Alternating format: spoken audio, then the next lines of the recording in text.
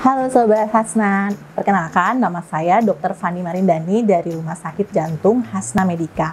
Pada kesempatan kali ini saya akan membahas informasi mengenai Holter monitoring dan ambulatory blood pressure monitoring.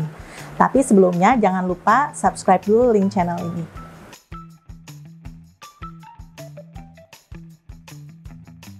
Holter monitoring juga sering disebut dengan ambulatory elektrokardiografi. Ini merupakan suatu prosedur yang merekam uh, aktivitas listrik jantung dan juga detak jantung secara terus-menerus selama 24 sampai 48 jam pada aktivitas sehari-hari.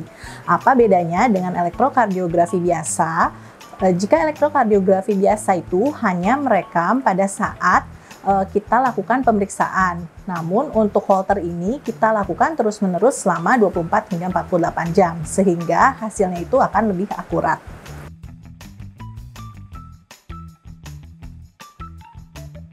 Holter monitoring biasa dilakukan pada pasien-pasien yang memiliki gangguan irama jantung atau kita sering sebut dengan aritmia.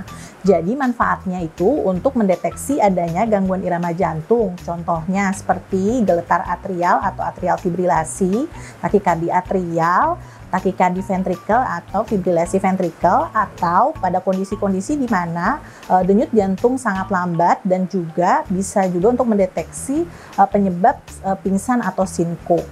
Selain itu, Holter juga bisa uh, digunakan untuk melihat efektivitas obat, di mana jika pasien tersebut diberikan obat-obatan anti aritmia atau gangguan irama jantung untuk melihat apakah obat tersebut sudah efektif dan bekerja secara optimal.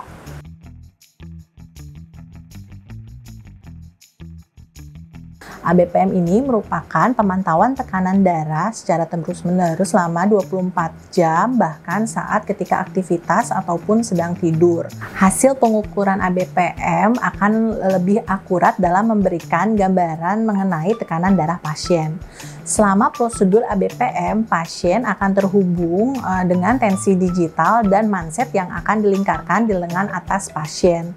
Namun jangan khawatir, untuk alat tersebut itu berukuran sangat kecil sehingga tidak akan uh, mengganggu saat digunakan, terutama saat aktivitas ataupun saat tidur.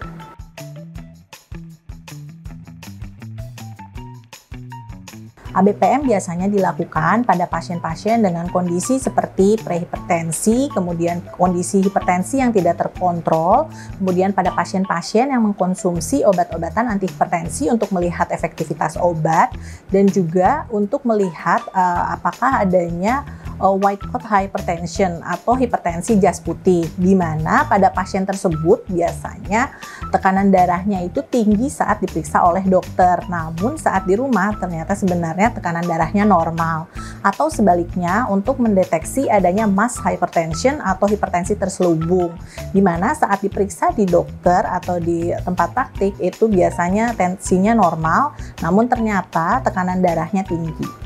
Sekian informasi yang bisa saya bagikan, semoga bermanfaat. Eh, jaga kesehatan dan selalu lakukan protokol kesehatan dengan cara mencuci tangan, menjaga jarak, menghindari kerumunan, mengurangi mobilitas, dan memakai masker. Terima kasih.